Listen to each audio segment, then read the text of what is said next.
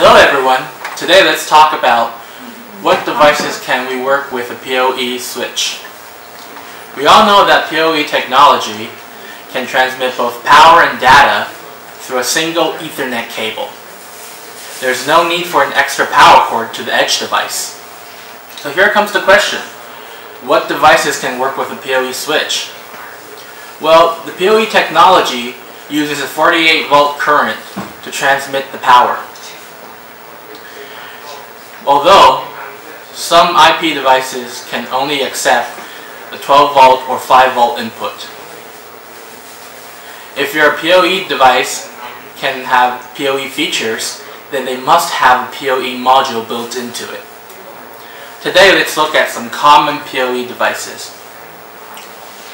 Here we have a PoE camera, a PoE wireless access point, a PoE VoIP phone.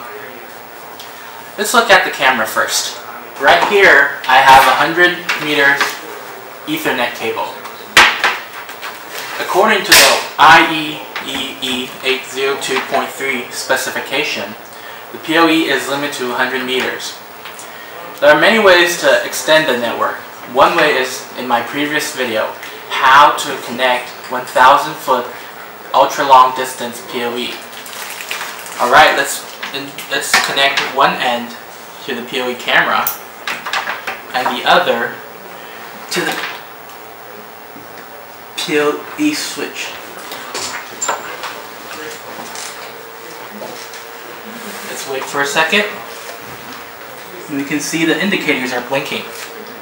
That means the PoE switch is currently transmitting power and data to the camera. Okay.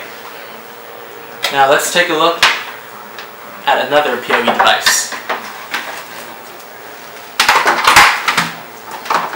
This is our wireless access point. I'll connect one end to the wireless access point and the other to the PoE switch. Same as the camera, you can see the indicators are starting to blink. That also means PoE switch is currently transmitting both power and data to the wireless access point.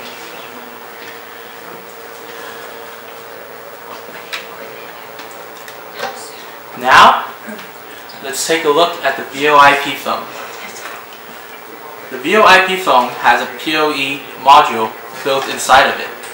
So also, once we insert one end of the cable in the VoIP phone and the other in PoE switch.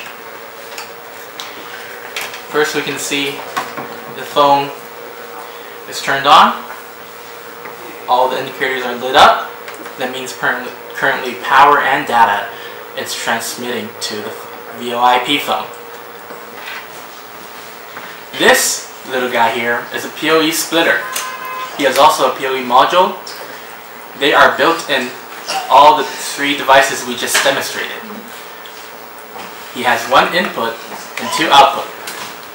The input receives power and data from the PoE switch. Then it separates the data and converts the power into 12 volt DC.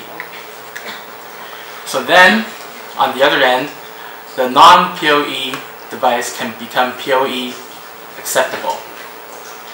With this, we can turn the non-PoE devices to PoE devices. Alright, that's it for this video. Thank you guys for watching. If you have any comments, please leave at the section below. I'll see you guys next time. Bye-bye.